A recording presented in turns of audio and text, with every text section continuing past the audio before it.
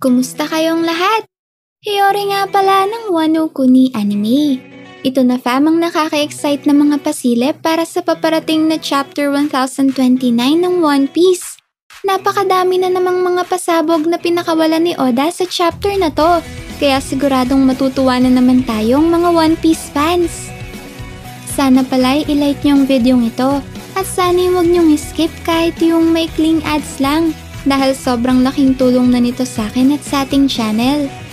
Sobrang excited na akong ibahagi sa inyo ang mga bagong pasabog sa Chapter 1029 fam, kaya wag na nating patagalin. Simulan na natin!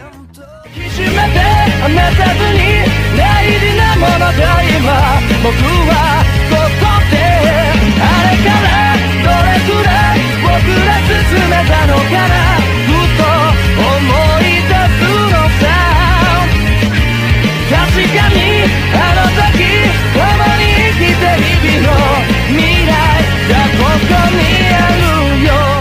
Ang chapter na to ay pinamagatang tower at ang pamagat na to fam ay tumutukoy sa isa sa mga baraha ni Basil Hawkins. Hindi lang natin basta makikita ang pagpapatuloy ng matinding laban sa pagitan ng dalawang miyembro ng Supernova na sina Killer at Hawkins, kundi masasaksihan din natin ang pagtatapos ng laban na to. Tamang narinig nyo fam, sa wakas ay nakiisip na ng paraan si Killer para tuluyan ng mapatumba si Basil Hawkins nang hindi nalalagay sa alanganin ang buhay ng kanyang kapitan na si Eustace Kidd. Bukod pa dyan fam, may isa pang laban ang makikita nating ipagpapatuloy sa chapter na to.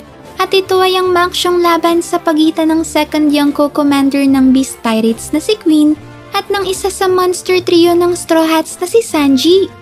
Sa chapter na to na kaya magtatagumpay si Queen na mapagamit kay Sanji ang pinakaabangan nating lahat na stealth black raid suit?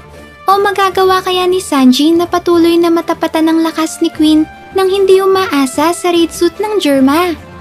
Hindi pa dyan nagtatapos ang excitement fam dahil isa sa pinakamalalakas na individual sa Wano na pumapangalawa lamang sa lakas ni Kaido ang masasaksihan din nating lumaban sa chapter na to.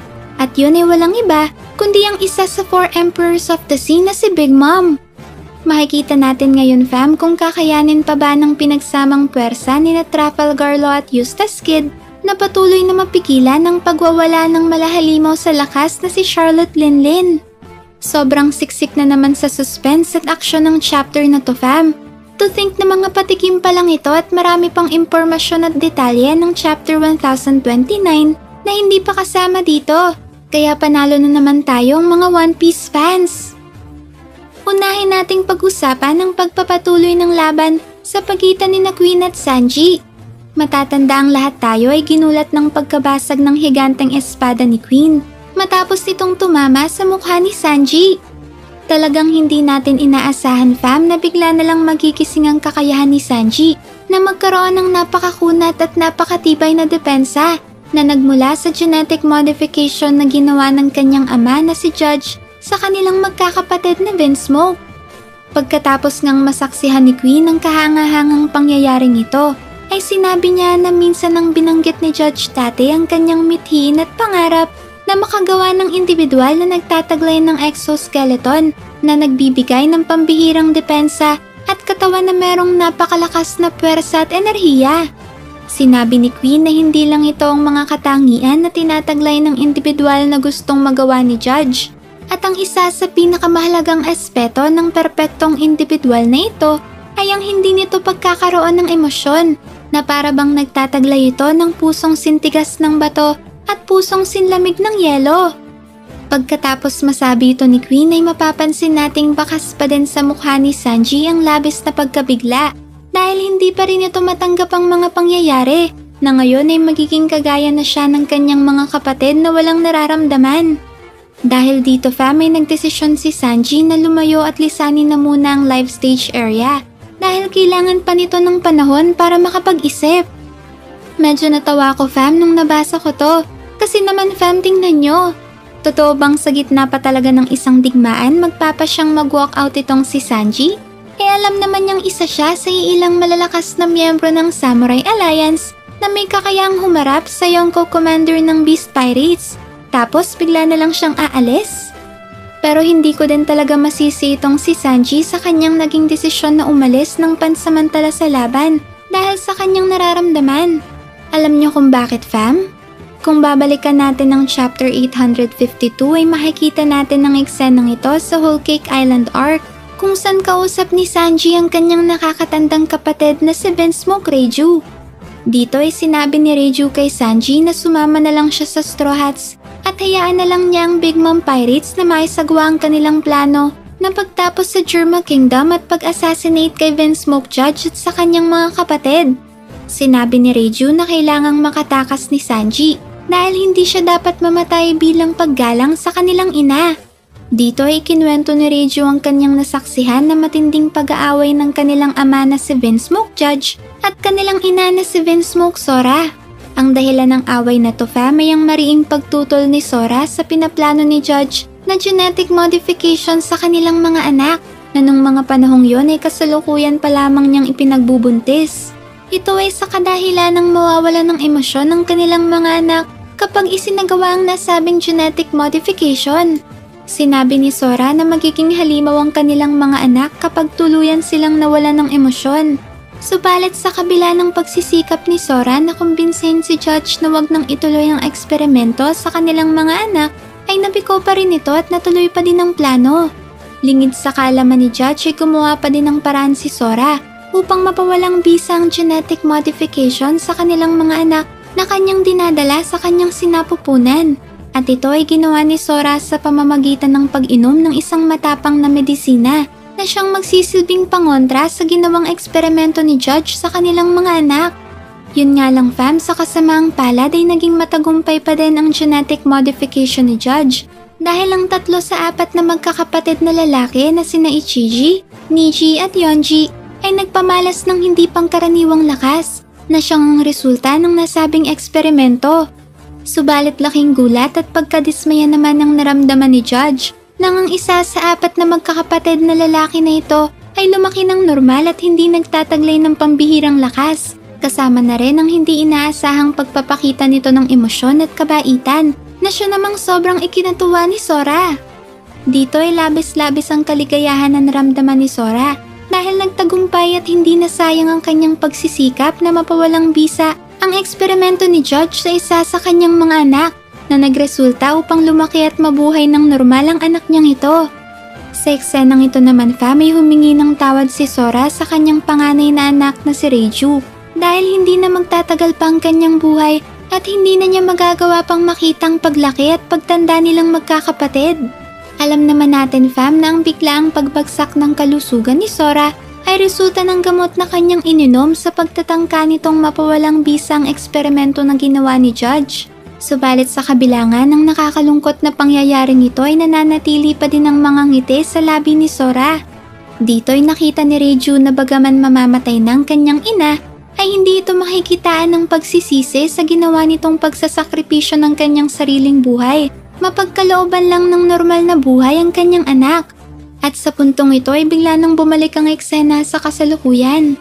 Dito ay sinabi ni Reju na bagaman ang kanilang ina na si Sora ay hindi na nila kapiling sa oras na yon, ay nananatili pa din ang kanyang kagandahang loob sa pamamagitan ng pagkatao ni Sanji. Sinabi ni Reju na hindi kailanman naging isang failure o isang kabiguan si Sanji, katulad ng pagtrato sa kanya ng kanilang ama at kanilang mga kapatid. Dahil ang kanilang ina na si Sora ay inalay ang kanyang buhay upang maipanganak ito bilang isang normal na tao na may sariling damdamin. At ang anak niyang yon ay walang iba kundi si Sanji. Sinabi ni Reiju na ito ang dahilan kung bakit bukod tanging si Sanji lang ang nagtataglay ng pambihirang kabaitan. At ito ay nagmula sa pagmamahal ng kanilang ina na minana ni Sanji. Kaya naman ganito na lang fam ang naging reaksyon ni Sanji sa biglaang pagsulpot ng kanyang bagong kakayahan. Hindi niya matanggap na siya ay hindi na isang normal na tao dahil para kay Sanji, ang kanyang pagiging isang normal na tao ang simbolo ng pagmamahal sa kanya ng kanyang ina na si Sora. At sa oras na magkaroon na din siya ng mga pambihirang kakayahan katulad ng kanyang mga kapatid, ay malaki ang posibilidad na mawala na din siya ng emosyon na siya namang natatanging bagay na ipinagkaloob ni Sora sa kanya sa pamamagitan ng pagsasakripisyo niya ng kanyang buhay. Kumbaga para kay Sanji ay mawawala ng saysayang sakripisyo at pagkamatay ng kanyang ina na si Sora sa oras na tuluyan ng ma-activate ang genetic modification na ginawa sa kanya ni Judge. Kaya kung tayo man ang lalagay sa sitwasyon ngayon ni Sanji, ay talagang mawawala tayo sa sarili nun, di ba fam? Sa pagpapatuloy naman ng chapter fam, pagkatapos na magdesisyon ni Sanji na lisanin na muna ang life stage area upang siya ay makapag-isip ay kagad naman siyang hinabol ni Queen. Dito ay patuloy pa din ang pagpupumilit ni Queen kay Sanji na gamitin ang kanyang stealth black raid suit. Grabe naman talaga sa kakulitan nitong si Queen Fam. Nakita na ngang may pinagdadaanan ngayon si Sanji tapos hindi man lang siya lubayan kahit saglit lang. Pagkatapos nito fam ay lumipat naman ng eksena sa pagpapatuloy ng laban ng dalawang supernova na sina Killer at Hawkins. Matatanda ang ginamitan ni Hawkins ng kanyang devil fruit na Wara-Wara no si Kid. Kaya naman sa tuwing matatamaan si Hawkins ng anumang atake, ay si Kid ang siyang makakatanggap ng pinsala mula sa ataking yon. Sa chapter na to fam ay makikita nating inuumpog ni Hawkins ang kanyang ulo sa pader upang mapinsala nito si Kid. Ibang klase din talaga ang taktika nitong si Hawkins fam no? Bagay talaga silang magsama ni Apu na madumiding lumaban. Dito ay biglang tinanong ni Killer si Hawkins kung anong mangyayari kung ang pinsala na kanyang matatanggap ay walang paglilipatan. Kasi di ba fam, ang buong katawan ni Hawkins ay umaakto na para bang isang manika ng mangkukulam? Pagkatapos ng tanong ni Killer ay kagad naman itong sinagot ni Hawkins. Sinabi nito na ang lahat ng pinsala na kanyang tatanggapin sa labang ito ay malilipat lamang sa kapitan ni Killer na si Kid. Pagkasagot na pagkasagot nito ay bigla na lang hinati ni Killer ang kaliwang kamay ni Hawkins na labis namang ikinabigla nito. Pagkatapos ay tinanong ni Hawkins si Killer kung bakit nito hinati ang kanyang kamay. Gayong alam naman niyang ang lahat ng matatanggap na atake at pinsala ni Hawkins ay malilipat lamang kay Kid. Sumagot naman si Killer at sinabing matagal nang walang kaliwang kamay si Kid dahil sa pakikipaglaban nito sa isa sa mga miyembro ng Red Hair Pirates. Alam kong madami sa inyo fam na nakapredict na mangyayari ang eksenang ito, kaya congrats sa inyo na mga tumamang teorya. Sa puntong ito ay muli na namang nagsalita si Killer. Tinanong nito si Hawkins kung ilan pa ang natitira nitong buhay ngayong wala ng Strodal na nakatali at nakakonekta kay Kid. Matapos na itanong ito ni Killer ay sumagot si Hawkins at kinongratulate ang kanyang kalaban. Sinabi nito na magaling ang ginawa ni Killer dahil ang Strodal na nakakonekta kay Kid ang kanyang panghuling reserbang buhay. Dito ay biglang bumunot ng baraha si Hawkins at sa pagkakataong ito ay ang card na tower ang kanyang nabunot. Subalit bago pa man ma-activate ang epekto ng barahang ito ay nagawa ni ni Killer na matalo si Hawkins. Sinabi dito fam na ang card na tower ay nangangahulugang the collapse of the old o ang pagguho ng nauna. Sinabi din dito na may isa pang sikretong kahulugan ng barahang to at yon ay ang A New Way o ang bagong landas. Sa kasamaang palad nga lang fam hindi pa sinasabi ang eksaktong koneksyon at kahalagahan ng kahulugan ng tower card sa chapter na to. Maaari siguro ang kahulugan na Collapse of the Old ay nagre-representa sa pagkatalo ng mga Emperors of the Sea na mga nauna at mga veteranong mga pirata. At ang sikretong kahulugan naman na A New Way ay nagre-representa sa pag-usbong at pangunguna ng bagong henerasyon ng mga pirata sa kasalukuyang panahon. At yun na nga ang mga supernova na kinabibilangan ni na Luffy, Zoro, Law, Kid at Killer na ilan sa mga pangunahing karakter sa digmaang ito. And speaking of kahulugan ng Baraha fam, sino nga kaya talagang misteryosong individual sa hula ni Hawkins nung chapter 990 na meron na lang isang porsyentong tsansa na mabuhay hanggang sa kinabukasan mula nung nagsimula ang digmaan. May kinalaman kaya ito sa kahulugan ng tower card na nabunot ngayon ni Hawkins sa chapter na to? Ibig sabihin kaya nito ay isa sa mga Emperors of the Sea ang tinutukoy sa hulang ito ni Hawkins? Dahil kung babalikan natin ang eksenang yon, ay kapansin-pansin na lubhang nagulat si Hawkins sa kanyang natuklasan at tila ba hindi ito makapaniwala na malaki ang tsansa na mamatay ang individual na yon. At base na din sa naging opinyon ni Lucci at ng CP0 na malabong matalo si Kaido sa digmaang ito, ay mas lalo na ngayong tumataas ang posibilidad na si Kaido nga ang individual na tinutukoy ni Hawkins sa kanyang hula. O ba fam, sobrang nakakasuspense? Pero hindi pa dyan natatapos fam dahil sunod namang ipinakitang pagpapatuloy ng laban sa pagitan ng dalawang supernova na sina Trafalgar Law at Eustace Kid laban sa isa sa Four Emperors of the Sea na si Big Mom. Dito fam ay makikita na natin ang epekto ng ginawa kanina ni Hawkins na paghampas ng kanyang ulo sa pader. At dahil nga sa epekto ng Devil Fruit ability ni Hawkins, ay kagad na naramdaman ni Kid ang ginagawa nitong paguntog ng kanyang ulo.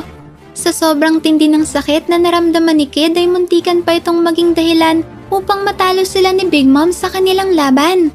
Hindi natin may tatanggi fam na talagang kahanga-hangang pinapakita ni na Lo at Kid dahil hanggang ngayon ay nagagawa pa din nilang labanan si Big Mom. Pero sa kasamaang palad fam ay hindi talaga sapat ang lakas ni na Lo at Kid para mapatumba si Big Mom. Liban na lang siguro kung tumulong sa kanila ang mga natitirang miyembro ng supernova na nasa Unikashima katulad ni na Killer at Chess Drake. Pero kahit tumulong pa sila ay nananatili pa ding mababa ang tsansa na matalo nila si Big Mom. And speaking of Big Mom fam, hindi ba't alam ng CP0 na nasa Onigashima ngayon si Big Mom at ang kanyang crew ay malapit din lang sa entrance ng Wano? Kung ganon, bakit kaya malakas pa din ang loob ng world government na atakihin at sakupin ng Wano kayong alam naman nila na nandun ngayon si Big Mom at ang kanyang crew? Isa lang ang ibig sabihin nito fam. Hindi ba't may mga barko na ngayon ng world government na nakaabang sa may entrance ng Wano? Sa palagay ko fam ay lula ng mga barkong ito ngayon ng tatlong Marine Admiral na sina Kizaru, Fujitora at Ryokugyu.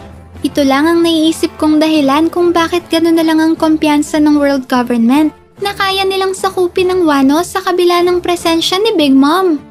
At kung sakaling ang totoo na nasa wano na ngayon ng mga Marine Admirals, ito na kaya ang katuparan ng sinabi ni Oda na mas magiging matindi ang digmaan sa wano kung ikukumpara ito sa Marineford War?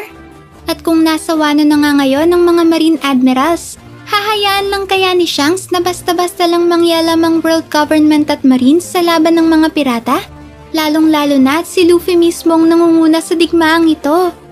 Grabe fam, hindi ko na naman alam kung anong iisipin ko sa sobrang tindi ng mga posibilidad na maaaring mangyari. Ano sa tingin nyo? Ang mga Marine Admirals na nga kaya ang dahilan kung bakit malakas ang loob ng world government na sakupin ng Wano kahit nandun ngayon si Big Mom? Magpakita nga kaya si Shanks bago matapos ang 2021? I-comment nyo lang yan dyan sa baba upang ating mapag-usapan. Maraming salamat sa inyo fam sa solid at walang sawa niyong pagsuporta sa ating channel. Mag-iingat kayo palagi. See you on our next video and stay good fam!